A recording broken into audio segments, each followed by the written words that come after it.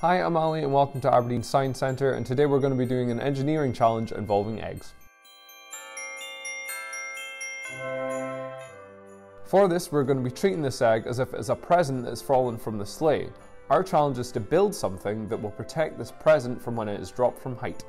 We're going to make this into a competition. I have Jess here, and we're going to see who can best protect their gift.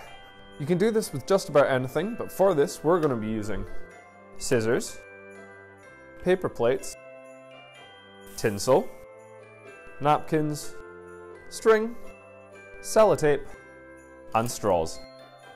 Let's get building!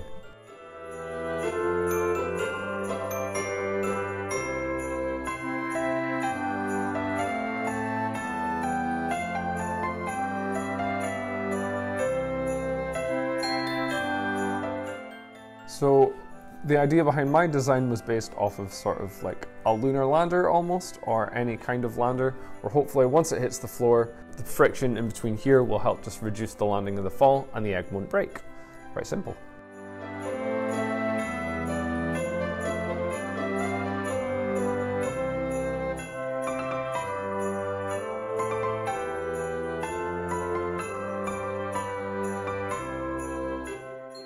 So the idea behind my design was that I've created a little nest for the egg. Inside the nest I've put tinsel in, which is hopefully going to absorb some of the impact and protect the egg.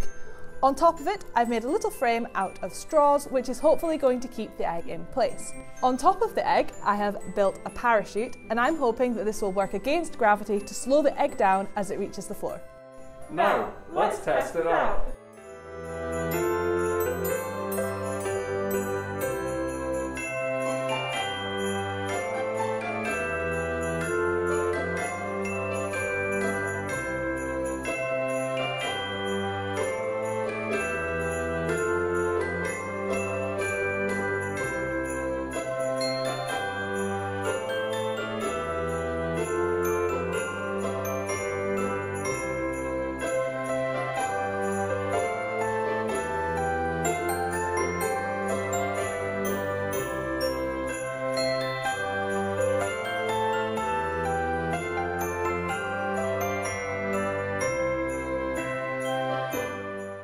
We hope you've enjoyed watching this year's 12 Days of STEM. Thanks for watching, see you next time!